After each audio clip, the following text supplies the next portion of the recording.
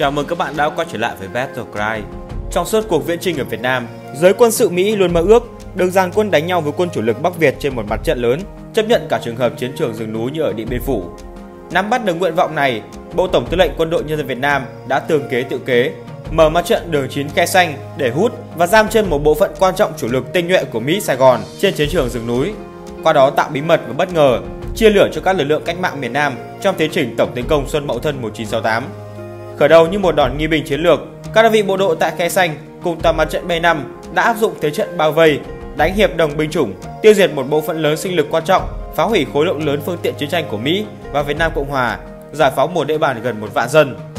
Trong phần 1 của loạt series video về chiến dịch này, hãy cùng Battleground chiêm ngưỡng khe xanh, một kỳ quan quân sự về phòng ngự mà người Mỹ đã giải công xây dựng để ngăn chặn những tuyến đường tiếp tế cho chiến trường Nam Bộ của phía Việt Nam Dân Chủ Cộng Hòa như thế nào. Có thể nói, người Mỹ đem tất cả những gì có thể mang tới Việt Nam đặt cả vào khe xanh.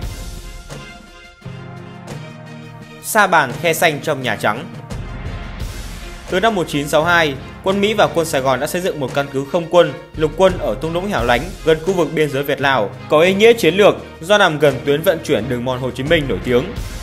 Ở ngưỡng cửa năm 1968, tư lệnh Mỹ ở Nam Việt Nam, tướng Westmoreland quyết định rằng phải thả mồi ngon lùa quân Bắc Việt vào bẫy để buộc tướng Giáp phải đánh nhau theo cung cách thủy ước, vốn là sở trường của quân Mỹ.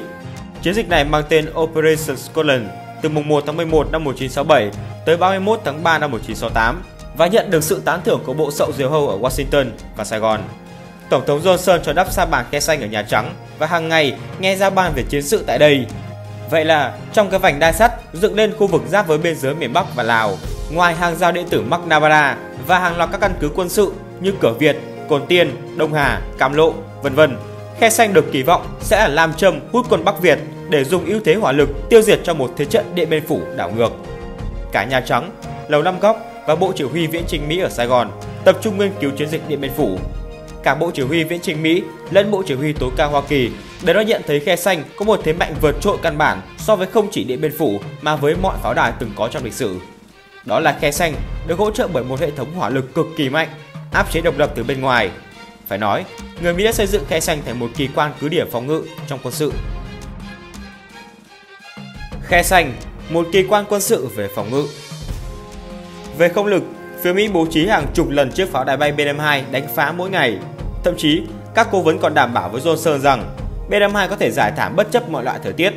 Ngoài ra, còn được yểm trợ đường không cự ly gần bởi lực lượng khoảng 2.000 máy bay chiến đấu khác của không quân chiến thuật, không lực của hải quân, không lực của thủy quân lục chiến với tần suất khoảng 500 lần trước trên mỗi ngày, hoạt động được cả trong điều kiện tầm nhìn zero cũng như ban đêm. Khe xanh còn được yểm trợ bởi hơn 3.300 chiếc trực thăng, tổ hợp radar kể cả các loại cực kỳ tối tân như Sky Spot. Về pháo binh, Mỹ bố trí 16 bộ pháo tự hành trên xe xích vua chiến trường 175 ly, bố trí tại trại Caron ở gần Cam Lộ và trận địa trên đỉnh Rock Pie. 18 lựu pháo 105 ly, 8 lựu pháo 155 ly tại các căn cứ pháo binh ở Quảng Trị, pháo yểm trợ tầm trung từ trận địa Bắc đèo Hải Vân, vân vân.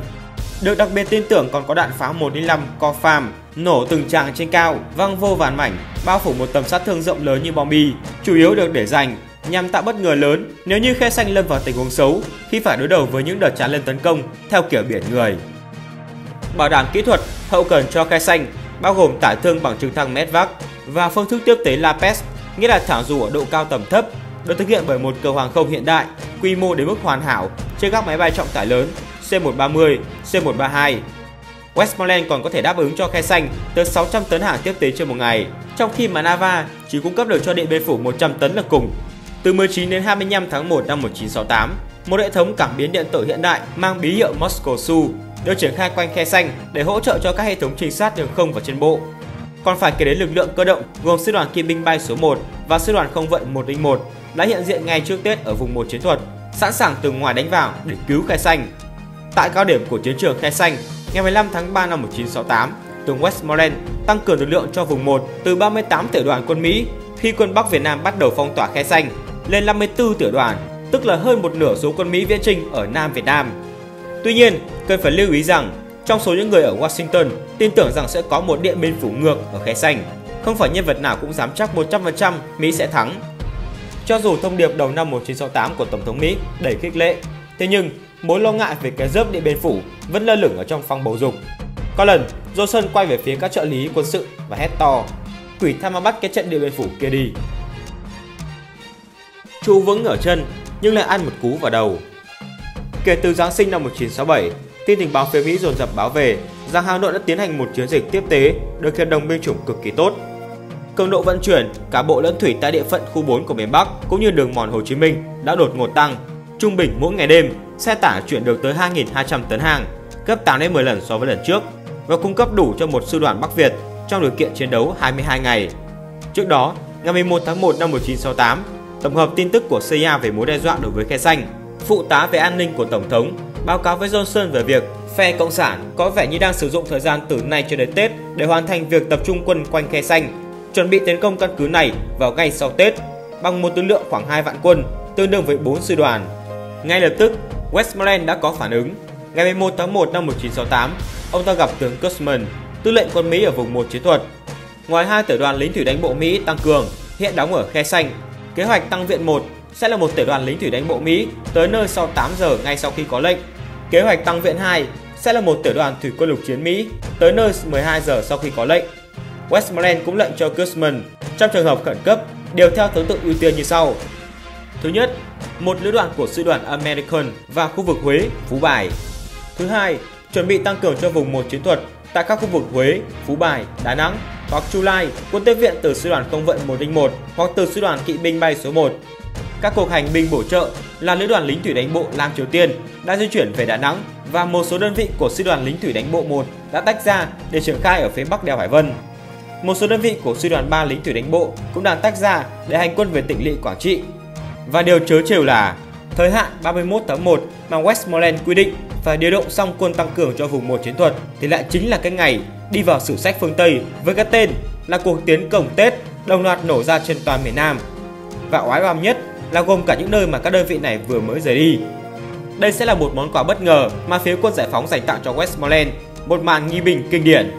Thế nhưng, vẫn còn may cho Westmoreland. Vào những ngày ngay trước Tết, Wayne, tư lệnh Mỹ ở vùng 3 chiến thuật, một viên tướng gốc tình báo đã cảm nhận được những biến động quanh Sài Gòn. Thế nhưng thực ra, chủ yếu là do không thích đánh nhau ở vùng núi và biên cương. Ông ta đã xin được với Westmoreland đưa lực lượng cơ động trở về để che chắn Sài Gòn. Trước giao thừa, 27 tiểu đoàn Mỹ đã trở về phòng tuyến phòng thủ Sài Gòn, còn 22 tiểu đoàn khác ở các vành đai. Về sau, Westmoreland ca ngợi đây là một trong những quyết định quan trọng nhất của cuộc chiến tranh Việt Nam. Còn các sử gia phương Tây thì cho rằng nếu hoàn toàn sập bẫy Hà Nội, đem đại quân đi càn quét ở vùng sâu vùng xa, thì Mỹ đã có thể mất Sài Gòn về tay mặt trận quân giải phóng trong dịp Tết Nguyên đán 1968. Và như để đáp lại đơn đặt hàng của Mỹ, chiều ngày 20 tháng 1 năm 1968, quân giải phóng đã khai cuộc với màn pháo kích dữ dội bằng Katyusha và cối vào căn cứ khe xanh. Kho đạn dược và kho nhiên liệu cho trực thăng bị nổ tung, đường băng cũng bị cải nát. Vì dữ liệu được về độ khốc liệt của cuộc tiến công này, nên từ đầu tháng 1 năm 1968, Westmoreland đã ban bố hàng loạt các mệnh lệnh nhằm tập trung quân lực Mỹ lớn nhất trong khả năng cho phép để đánh trả địch.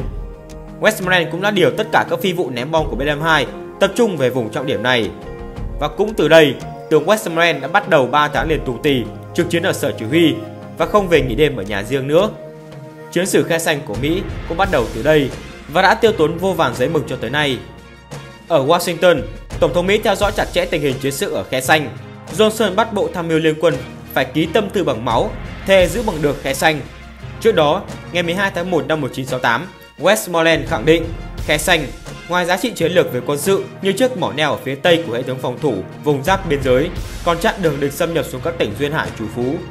Nếu từ bỏ khe xanh sẽ tạo ra một chiến thắng trọng đại về phương diện truyền thông cho đối phương, làm mất tinh thần của người Mỹ và Việt Nam Cộng Hòa.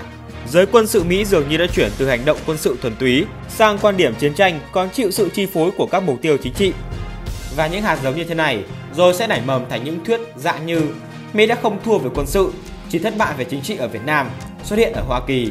Thế nhưng dù sao thì đối thủ của họ, phía Việt Nam Dân Chủ Cộng Hòa, chỉ quan tâm tới kết quả cuối cùng mà thôi. Ở khe xanh, bất chấp 40 lần công kích của B-52 và 500 lần máy bay chiến thuật mỗi ngày, đối phương vẫn chưa xuất kích. Johnson lo lắng. Ngày 2 tháng 2, ông ta lại thúc bách Chủ tịch Hội đồng Liên quân Wheeler phân tích về sự tương đồng giữa khe xanh và Điện Biên Phủ. Trả lời vào hôm sau, Wheeler lại trích báo cáo của chính Westmoreland để trả lời Tổng thống. Theo đó, kỹ năng tác chiến và nhất là công năng vũ khí mà Mỹ hiện có ở khe xanh đều trên tài người Pháp ở Điện Biên vô cùng vô cùng nhiều. Và điều lạ là trong dịp này, Westmoreland lại còn hỏi xin thêm máy bay C-130, máy bay trực thăng, các vũ khí cá nhân hiện đại hơn như tiểu liên M16, súng máy M60 và cối M29 cho quân Sài Gòn.